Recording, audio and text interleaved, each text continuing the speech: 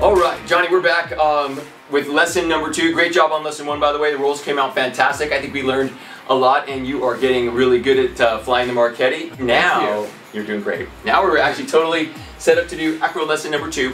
We're gonna do loops uh, in this lesson.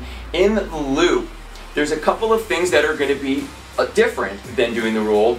Of course, um, the first thing is, is that we're changing axis. So we start off with the roll with this axis and looking straight ahead. In the loop, it's really going to be the vertical axis. It's going yeah. the other way, lateral, right across the wing line.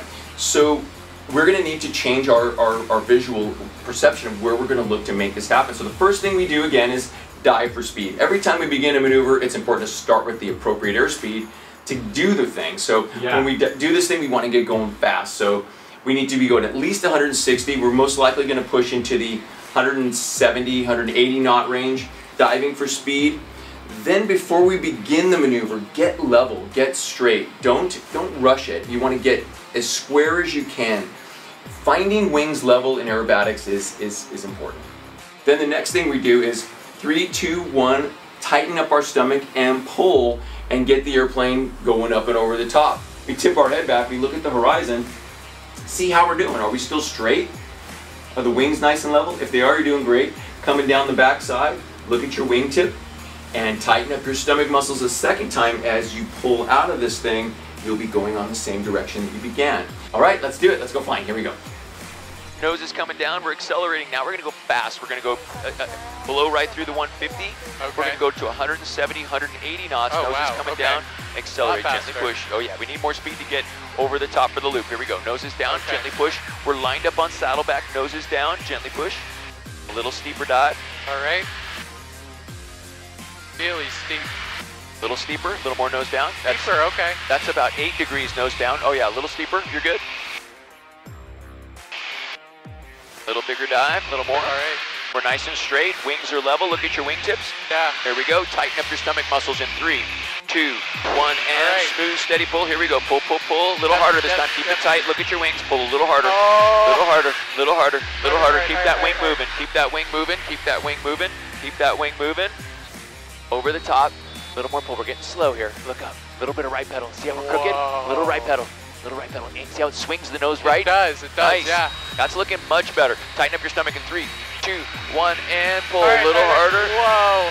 Awesome. Check your heading.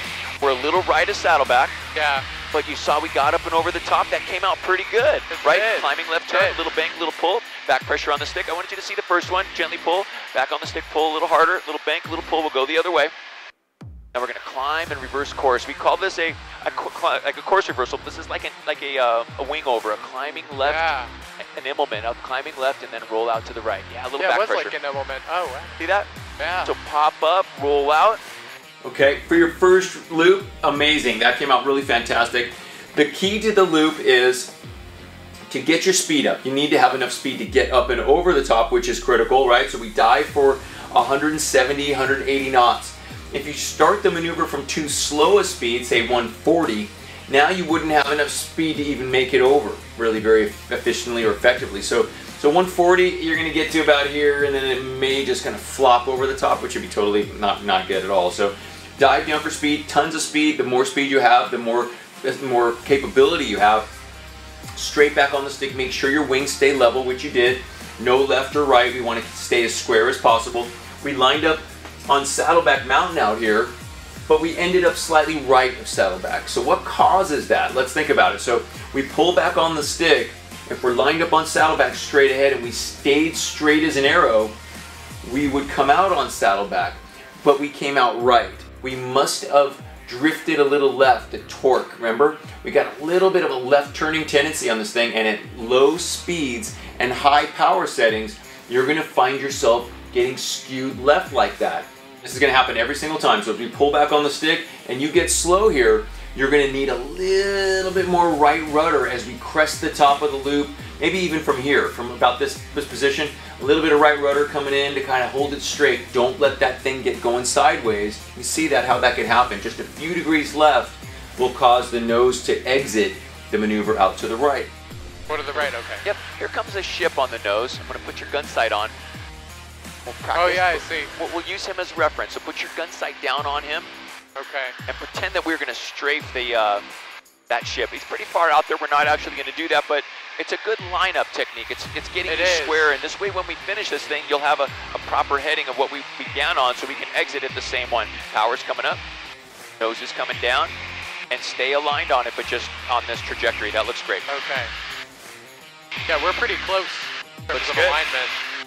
Perfect. Here comes 170, and here comes 3,000 feet at the bottom, and tighten up your stomach muscles. Okay. We're gonna pull from 3,000 feet, 170. Look at your wingtips. And three, two, one. We're gonna tighten up. Here we go. We're gonna pull, pull, pull. Look out the sides. Pull a little harder. Here we go. We're gonna do it. Smoke's coming on. All right, all right. Look whoa. at those wings. Now we're gonna keep looking. Now tip your head back. We're going over the top. Look at this. Oh. Look straight up. Look at this. Tip your head way back. Look at the alignment. Tiny bit of right pedal. See that? Yeah. Look at the alignment. Yeah. Look at the alignment here. We're gonna aim for it, aim for it. Tighten your stomach up. A little more pull. Look at the alignment straight toward that ship. 3,000 at the bottom.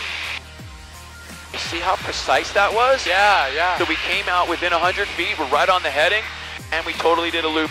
Yeah. Backflip right onto heading. Right hand turn, little bank, little pull. You got it. Little back pressure, bank and pull. Awesome, right? So you can see that the key is is having some reference points. When we do this out over the ocean, you got to find a ship, you got to find a mountain peak, you got to find a, uh, a a point of an island or something. So we line up on a, on a on a solid heading. This way we know for sure that when we finish, are we still on that same heading at the end? So the other thing we're working on is is start the maneuver at say 4,000 feet, zoom up to 5,000 feet, crest the top of the maneuver, touch your right pedal across the top. Coming down the backside, you're going to tighten up your stomach, relaxing the right pedal. Now we might even squeeze a little left rudder as we exit, and then finish at the same altitude we began, going on the same heading that we began towards Saddleback. So that's what we're hoping for. Let's see how we do in the next one. Looking good, brother. Nose down, accelerate. Check this ball, make sure we're square, we're straight. Little tiny bit of left pedal at the high speed, just a little right Oh, there. left pedal, Perfect. okay. At high speed left. Here we go. Three, two, one. Tighten up and pull, pull, pull. 3,400 at the bottom. A little harder pull. A little more. There's two and a half. Oh. Little shot of smoke. There you go. A little more pull. That looks fantastic. Wow. Okay, as we get slow, touch your right pedal across the top. Look up. Get yourself Right aligned pedal. with the smoke. Look okay. at that smoke. All right, yeah. Look at it. A little Yeah. bit to the right. See how the nose is a little left. There you go. Now relax. Hold that. Wait. Hold Wait. 4,500 at the top. Three, two, one. Pull a little harder now. right. Pull a little harder. Oh, we went little right harder. Little harder. Little harder. Relax the pull at the end. All right. 3,200 at the bottom. A little more pull. We're good. High Wow, five, man. we got that was one. ridiculous. Climbing left turn, 180 back to the left. That was fantastic. Got Bank it. left and pull. Bank left and pull. All right. Nice job. Okay, so you kind of see you're getting it. You did exactly what I did. We might have ended up just a touch low, but for your first perfectly round loop on heading, on altitude, I think it was really nice.